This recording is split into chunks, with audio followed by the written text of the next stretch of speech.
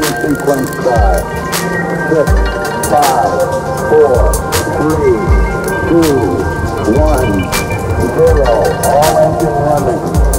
Liftoff. We have a liftoff. 32 minutes past the hour. Liftoff on Apollo 11.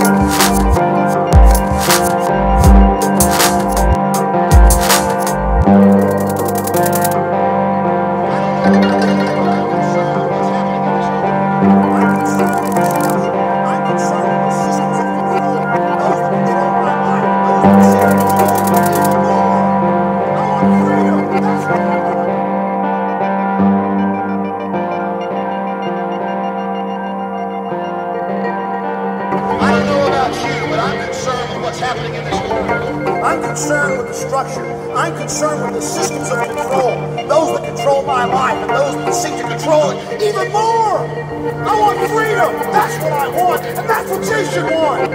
It's up to each and every one of us to turn loose just some of the greed, the hatred, the envy, and yes, the insecurities. Because that is the central mode of control. Make us feel pathetic, small. So we'll willingly give up our sovereignty, our liberty, our destiny have got to realize we're being conditioned on a mass scale. Start challenging this corporate slave state. The 21st century is going to be a new century.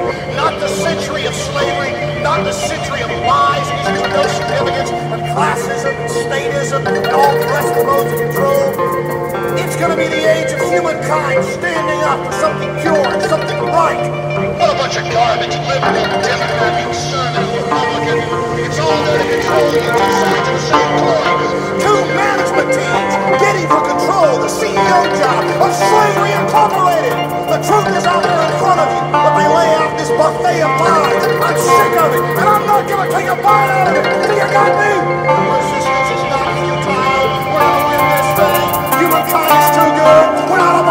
A bunch. We're going to stand up, and we're going to be human beings. We're going to get fired up about the real things, the things that matter.